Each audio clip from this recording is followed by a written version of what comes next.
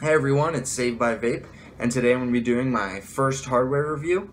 And this is going to be on a dripper, but not just any dripper, the Lush RDA, the newest addition to the line of drippers, RDAs by Wotofo.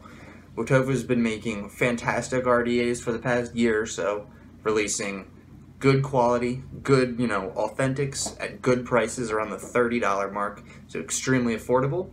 Um, so far, I've tried the Freak Show, great for flavor, a little bit leaky.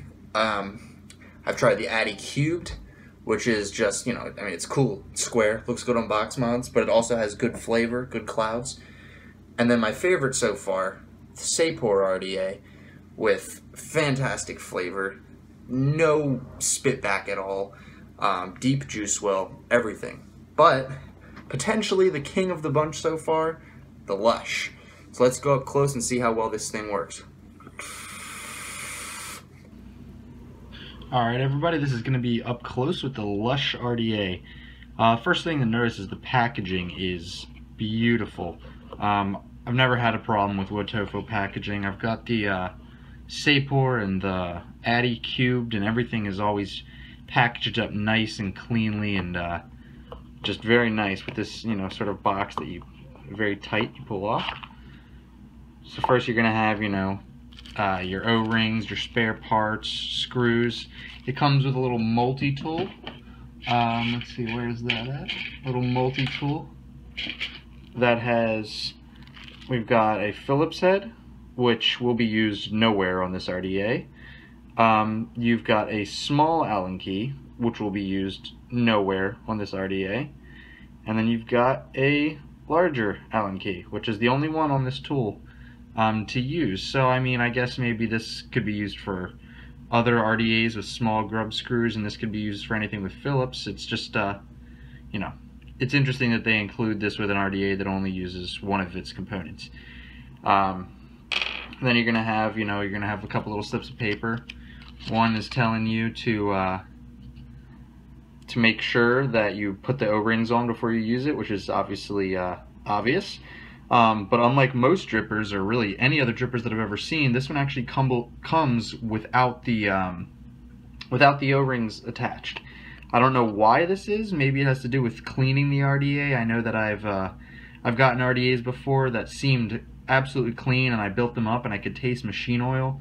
And as much as I cleaned it, I couldn't get it away. And then I took off the O-rings, and there you had it, more machine oil under the O-ring. So if that is why they did it, um, good for them.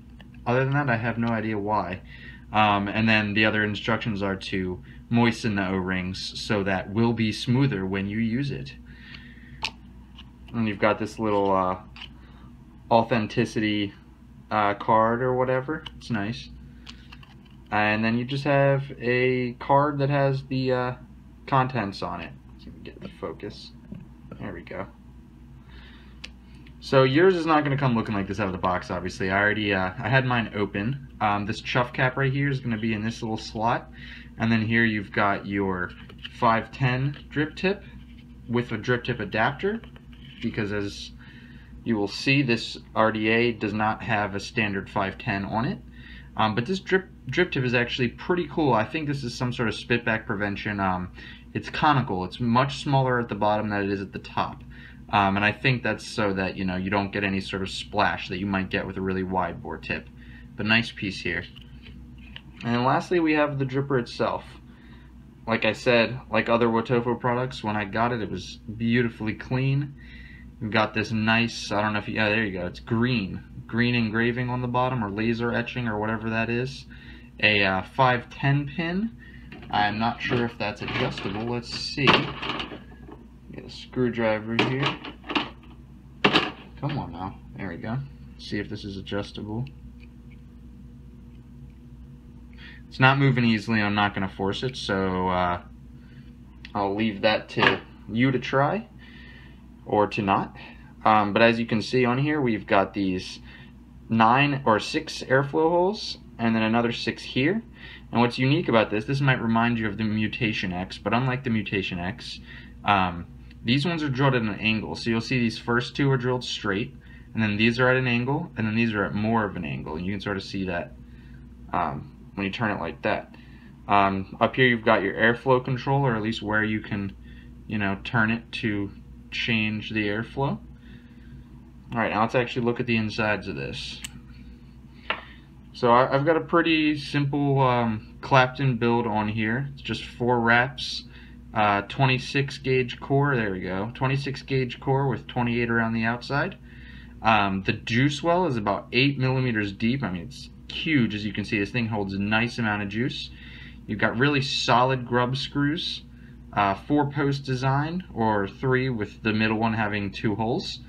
Um, nice big post holes. These, uh, let's see if I can get this to show you. Um, you can see the Clapton wire going in there has uh, plenty of plenty of space. I could fit, you know, double to triple this thickness in there. So pretty damn nice. I think they're two millimeters.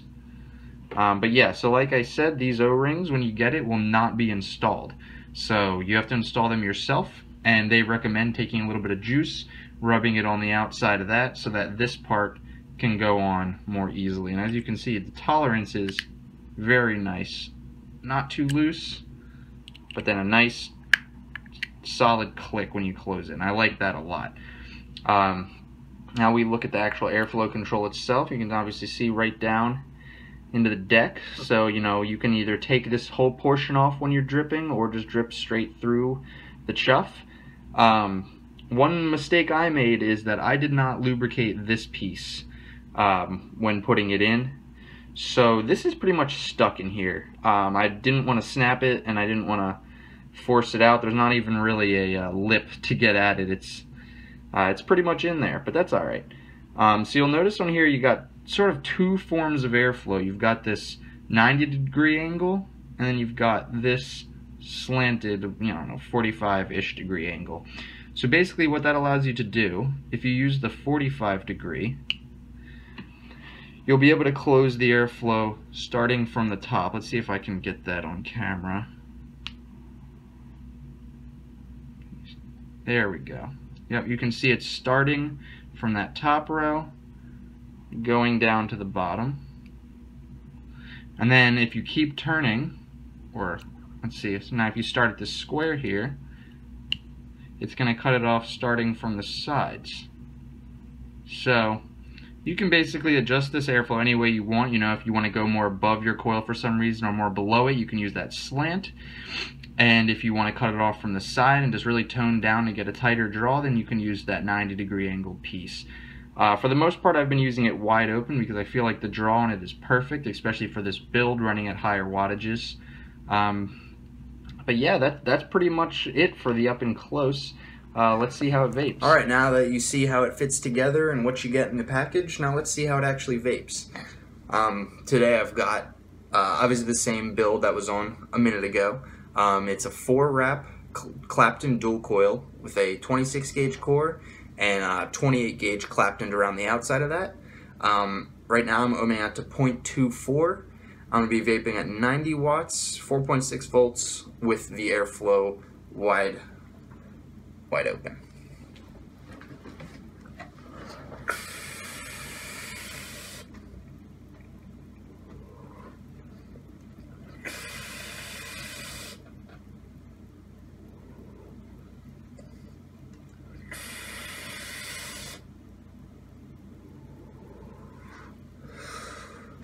awesome. Awesome, awesome, awesome. Right off the bat, the flavor definitely rivals the Sapor. Um, right in line with it, very, very comparable. I haven't vaped them back and forth yet, but um, the is what I've been using nonstop, so I have a pretty good feel of it, and I can say that this one's got comparable, if not slightly better flavor. Definitely has more airflow, definitely puts out bigger clouds. Um, juice well is a little bit deeper on there, and that's that's awesome. Um, holds a ton of juice. I've been putting around 15 to 20 drops in it. Um, you could probably put a little more. Um, with this particular build, I haven't had any trouble with spit back, uh, you know, juice in your mouth, or um, anything of the sort. Um, obviously, the clouds and the flavor and everything you get is going to be depend on what you, what actual coil you put on the dripper. Um, but it seems that it'll be able to take pretty much almost anything you put in it um, before this video, I put in some um, some six wrap Uh, I don't know if you'll be able to see that. Focus, bitch. Uh, yeah, whatever. Six rep uh, fused Claptons with 24 gauge cores, two 24 gauge with uh, 32 around the outside.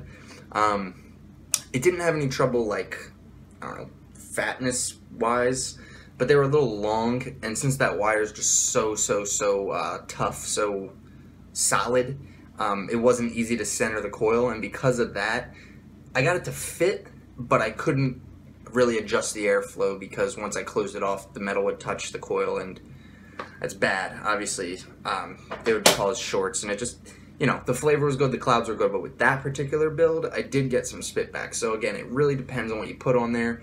Any dripper is going to give you spit back if you build it wrong or build it not according to really what the dripper is designed for.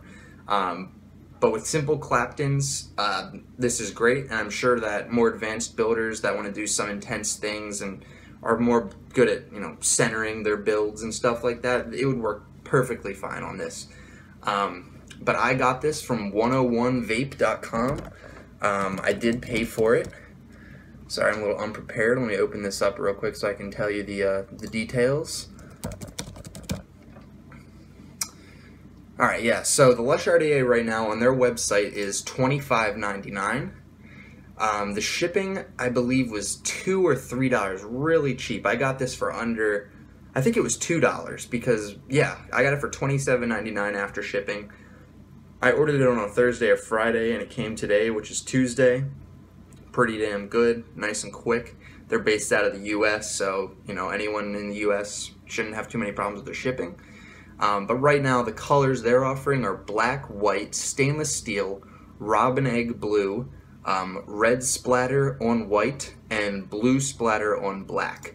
So there's a lot of options, and I know this one also comes in like a dark blue, um, like a lime green, uh, green splatter on black, a, a couple other options. Um, but these are the ones that 101 Vape has, and so far from what I've seen, 101 Vape has the best price. So I'll put a link below to where you can get this. Um, but I think this dripper is going to appeal to a lot of people. Great flavor, great clouds, um, lots of airflow options, really easy to build on, nice grub screws, deep juice well, nice O-ring tolerances. Just all in all, it's a great dripper.